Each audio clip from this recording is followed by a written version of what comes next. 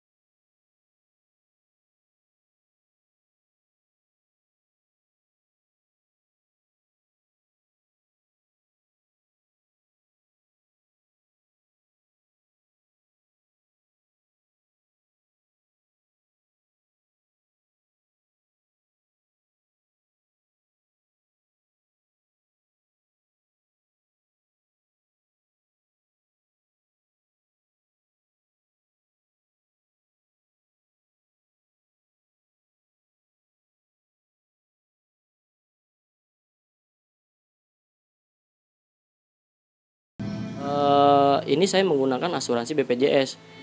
Lalu dengan mimik muka yang aneh dan kaget dia bilang, oh BPJS ya, tunggu deh satu jam lagi. Dia bilang begitu. Lalu saya tunggu. Setelah satu jam saya tidak panggil-panggil, satu jam lebih. Lalu inisiatif saya untuk balik lagi ke administrasi tersebut untuk menanyakan gimana untuk status anak saya.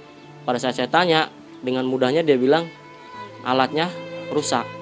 Kenapa kalau misalkan alat rusak untuk ngecek alat mungkin bisa 5 atau 10 menit, tapi ini kenapa harus sampai berjam-jam?